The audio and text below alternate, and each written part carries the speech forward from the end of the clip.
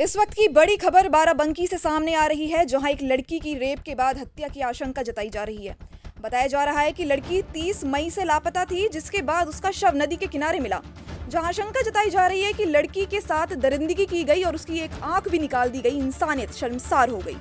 परिजनों का मानना है कि लड़की को घर से उठाकर ले गए थे, उसके बाद दबंगों ने उसका रेप कर उसे तालाब के किनारे फेंक दिया।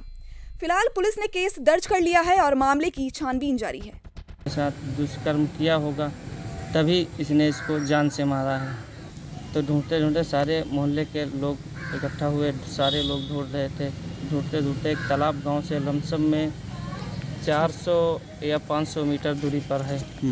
उसी तालाब के किनारे उल्टा पड़ी हुई थी मुँह के बल तालाब में। जब उसको पुलिस सौ नंबर गई उसको निकलाया वहाँ से तो फिर उसकी आँख भी फूटी थी गला भी दबा हुआ था, सब निशान बने थे उसके गले में। तालाब के किनारे एक बच्ची का शव बरामद हुआ है, जिसकी उम्र लगभग छः वर्ष। जानकारी करने पे पता चला, बच्ची तीस पाँच की रात ग्यारह बजे से घर से गायब थी। उसके परिजन तलाश कर रहे थे। थाना सफदरगंज पुलिस मौके पर मौजूद है। सुसंगत धाराओं में अभियोग पंजीकृत किया जा चुका है। आवश्यक विधिक कार्रवाई की जा रही है।